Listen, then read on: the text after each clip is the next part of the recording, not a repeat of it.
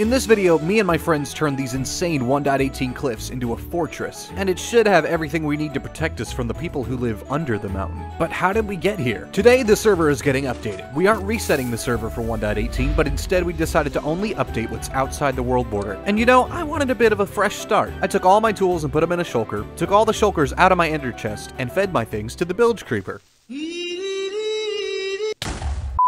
And with that, we were off. All the members that could be there got together and we expanded the world border to fly out to our new area together. And there were only a couple tragic deaths. When we got there, we sorted out into two groups the cave people and the cliff people. Yeah, yeah. We, we can't be touching those cliff dwellers. I'm just kidding. I'm just kidding. I'm just kidding. Ah, hey, hey, hey, keep your dirty, rotten, stinking caves away from me. Mountains are beautiful. I'm going with mountains. As you can guess, I opted to be a proud member of the Cliff Dwellers, the Mountain Folk, the Pinnacle Pioneers. Okay, nobody actually calls us that, but still. Since we were all on the server at the same time, we decided to make a big starting chalet here in the mountains for our base of operations. Honestly, Let's I go to the middle pillar here. Yeah, with Maybe all the pillars around us. Okay, I'm dead. Oh. Or not. Oh. Okay. Am I- am I allowed?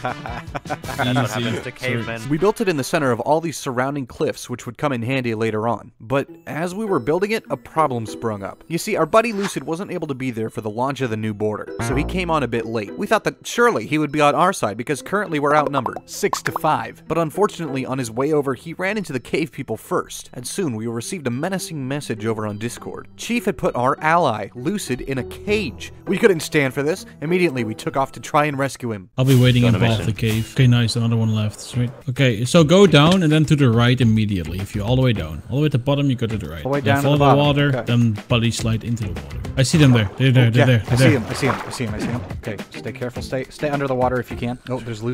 I gotta admit, it was kind of weird that Lucid was out of his cage. Although it's possible he broke out because there was only one other cave person on. I should have known we were heading toward trouble when I heard Lagging ask this. Are we gonna kill him or save him? I can't quite see him up, up there. Okay, they have a, they have the Nether portal. That's where Lucid spawned in, I think. Or they Damn. or they made one. I don't know. Okay, they're behind that pillar. I'm gonna make a break for it. Okay, I'm oh. hiding in the portal. Hiding in the portal. Okay, Mayu left. That's one less for us. Oh, Lucid is in the portal. Lucid's in the portal. Oh, he is. He's right there. What do we do? There we go. There we go. There we go. What's he oh, doing? he's he's trying to run. Wait, what is he doing? Get him! All right. If he does Lucid. resist, we take him out. wow. Okay. That was violent. That was What a shot. I think so, Ah, missed good The lava. Here, here. Pick up some stuff. Pick up some stuff. everyone get out of here. Take the loot and leave. Everyone leave. run. Everyone run. Take the loot and Let's leave. get out. Oh, I can see the sunlight. All right, we got to have a prize chest. Where's the prize chest for all of Lucid's stuff? Don't worry, we saved most of Lucid's things, and we put all his stuff in a chest and got him on a call. We wanted to see where his allegiance really fell, because that was kinda sus. That's a really, really thoughtless accusation. no, no, no. You, you were not trapped at all. So we were like, ah, then you're either enemy or not. And then when we showed up, you all of a sudden tried to fly away. so, so they log off. I get the iron bar down. I steal their Oh. gear, but It's- okay. That shot told me everything that I need to know. I'm feeling right at home, right where I'm at now. Well, I guess we lost an ally today. Unfortunately, I logged on the next day and somebody had stolen his stuff back in the night. As a side note, it was totally Mayu because she says this all the time. The audacity. Now that that drama was out of the way, I finished up the house here and then it was time to get to work. I don't know about you guys, but I think this house is pretty gorgeous. ZL helped me a lot with that, so thanks ZL. Now we've got kind of a base of operations. Oh, the sunsets are beautiful here. But I'm already getting tired of using these iron tools, so we're gonna go mining. I know, I know, I hate the underground too. The cliffs are far superior. Cliff supremacy. But I need to at least get some diamond tools and armor. So we're just gonna head out down into the valley and find a nice big cave, not the one that everybody else is hiding in, the stupid cave dwellers, those little goblins. And I'm gonna mine for about an hour. Looks like a good enough cave as any. My plan is to go pretty much as deep as I can and then find some diamonds. You know, I was gonna pick up some copper, but I don't think actually lightning strikes in snowy biomes, does it? So unfortunately, we cannot channel the lightning up there. This was an unforeseen problem. Please stop, back off. I'm so freaking good at this game. You know? I've got the stuff to make it. I think I'm gonna actually grab a bucket of lava as well, just because lava is pretty useful. And bucket of water, because bucket of water is bucket of water. Can somebody in the comments let me know what the best way to mine for diamonds is? Because I honestly don't know anymore. 1.18's thrown me off. At this point, I'm just kind of running around getting chased by mobs. Oh my gosh, see what I mean? Redstone, baby. Hold up, is that an abandoned mine shaft? There was an abandoned mine shaft in their place, and these aren't that far apart. I wonder if maybe we could find a secret entrance to their place. Please don't kill me. You know what? I'm gonna explore this place. It probably has diamonds, plus I want to see if it connects to their place. You know what? I'm also gonna take this rail because it could be really useful for moving mobs around and stuff. Diamonds, baby! That's what we're talking about. Gimme, gimme, gimme. Was it literally just one? Minecraft, you suck. Ooh, chest. Gimme, gimme. Pro moves, use the glow lichen for light. Also, more diamonds? Come on, more than two. More than two. More than two. Nope, it's just two. Haha! Nope, you always dig to the side, my friends. That was three. Okay, at this point, I'm running in circles. Unfortunately, I cannot seem to find a way into their base. A secret way, that is. Of course, we know where they are. It just would have been nice to have a secret place, you know? After all that work, I've made my way back up to the top, and we have a grand total of... So yeah, six diamonds. That's kind of pathetic. So we may have stirred up a little trouble with uh, the whole Lucid thing. Plus, let's be honest, it was kind of inevitable to cause problems when we split everyone up into two groups. Yes, I see you. Yeah. But I really think we're too exposed out here. They're lost in the deep dark of some cave down there. And we got frickin' beacons. Don't get me wrong, I'm proud to be a cliff dweller. But just in case a fight breaks out, we're gonna need some armaments. Okay, I've been mining for like two minutes and I'm already kind of tired of this. I really need efficiency on this diamond pickaxe. Unfortunately, I don't have an enchantment table, so we are going to make one. I know I could probably just ask one of my friends for something because they're still geared up, but no, I want to be independent.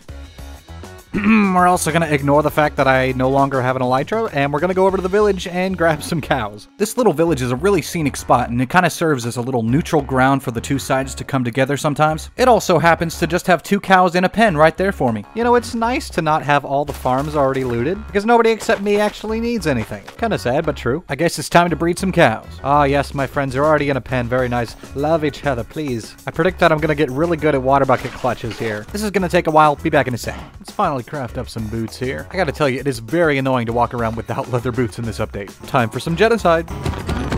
Does anybody else wish they could use shears on cows? It'd just be like shearing a sheep, but you get leather instead. Was that too dark?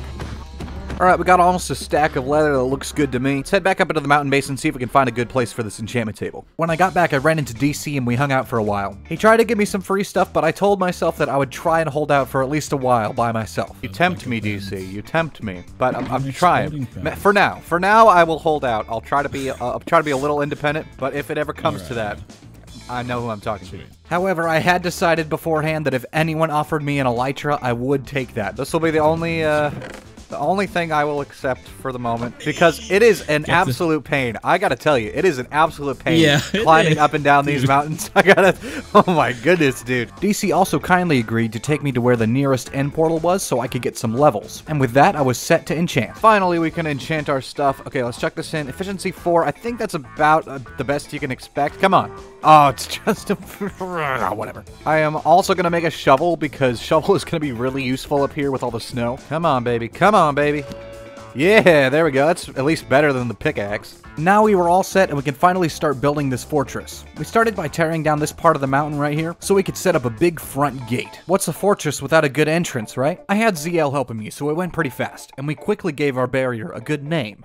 So I think that works. 575? Or Yeah, you have 4 like a haiku. Exactly, the haiku gate. The Haiku. That's a great name for it, actually. We finally finished up the front gate here, and if you ask me, that's pretty darn intimidating. I wouldn't want to climb a mountain just to run into that. I also made this cool little path up to the entrance of the house, and then we started connecting walls between each of the peaks around until we had a massive walled-in area with our house right in the middle. Me and ZL also took the liberty of naming some other spots. You can see right there Haiku Gate, also Horsehead Mountain, and Redstone Central. We even put them all on a map, so it's 100% official. The fortress was pretty much complete, but before we could call it a day, me and ZL had one more mission. You see, Lucid wasn't the only one who didn't make it to launch. Branzy hadn't been able to make it either, so we were on a mission to recruit him for the Cliff People. Where do you think he is? On those other cliffs over there. Let's go see. Some mobs died here recently. Specimen A. Here we have a sign that says, Welcome to the Cliffsea. Also, that, yeah, that's uh, probably the biggest sign, I'm not gonna lie. Specimen B. Behold the evidence. Creeper explosion. Could it be below here?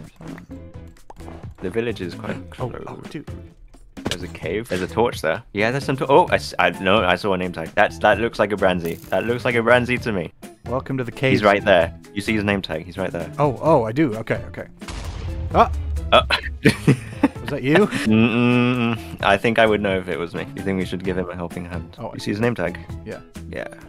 Oh, here, right here. Branzy! No, oh Branzy, no! God. That skeleton is OP, bro. I'm literally gonna die. Oh my gosh. Oh no! I killed him. Though. I killed him. Oh you're my such a rock goodness. star. Yeah, look You're at that. making Look, a palace. look how majestic it is. Don't you want to be a part of that? That's really nice. I mean, you have beacons, you have a fortress. That's a pretty good selling point. Is that a gate? It has a gate. It's dangerous, man. It's dangerous on your own. In in that mountain, Dangerous. that one up there, that's extra dangerous. I don't know why. I- It's Yeah, that mountain- You, sir, you I need think- some leather boots for yourself. Can I? That's Who else great- is on the uh the K or the Cliffs team? I'm sorry. The Uh, Cliffs. it's me, Oh. ZL, DC, Sky, and potentially you, good sir. After the incident in the cave, me and ZL took Branzy on a little tour of our base. But as of yet, he still hasn't decided which team he's going to join. But that's all I've got time for, so if you want to see what happens, make sure to tune in for the next one. And if you want, go ahead and check out this video where I PvP'd my friend Rek. Thanks again for watching, and I'll catch you guys in the next one.